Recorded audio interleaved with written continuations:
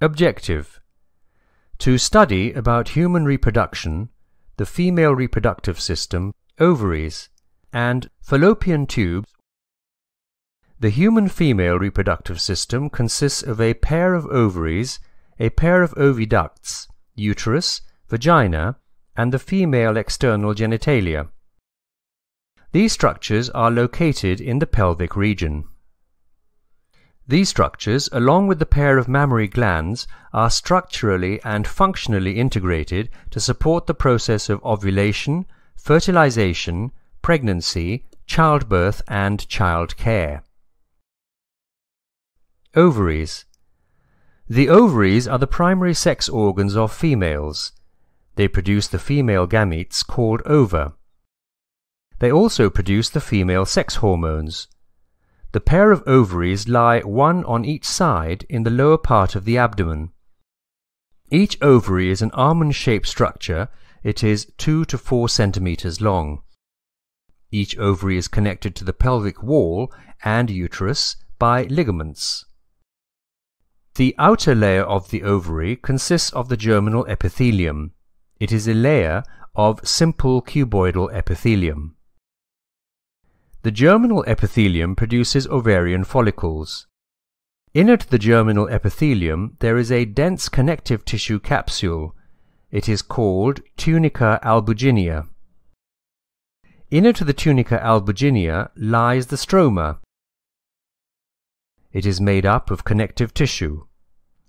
The stroma is differentiated into an outer cortex and inner medulla. The cortex appears denser and more granular than the medulla. This is due to the presence of a large number of ovarian follicles in the cortex. The ovarian follicles are in various stages of development.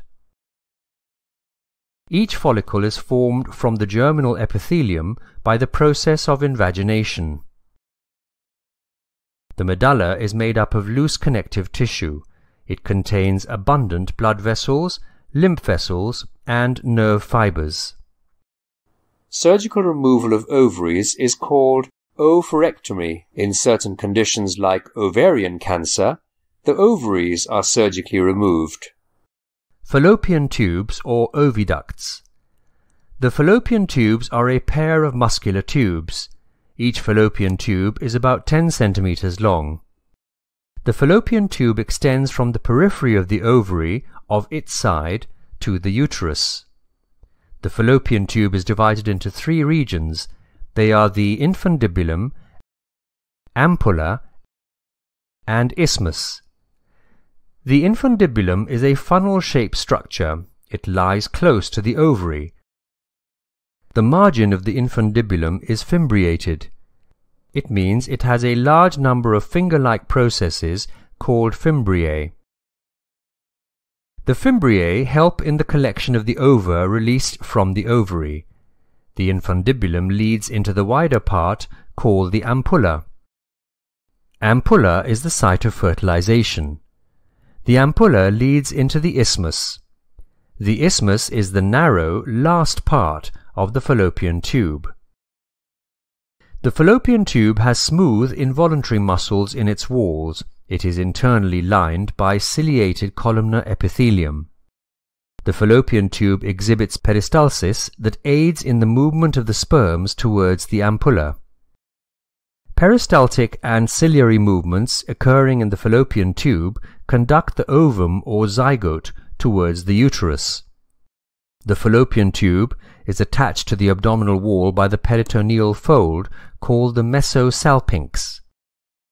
Tubectomy or tubal ligation is the surgical ligation of the fallopian tubes.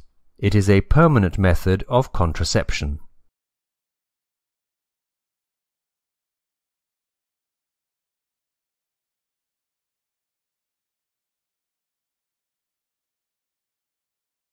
The human female reproductive system consists of a pair of ovaries, a pair of oviducts, uterus, vagina, and the female external genitalia.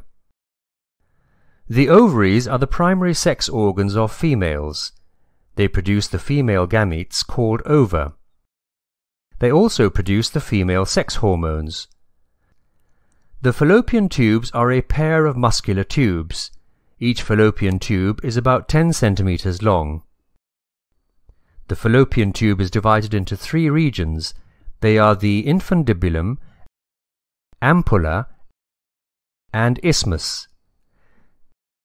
Ampulla is the site of fertilization.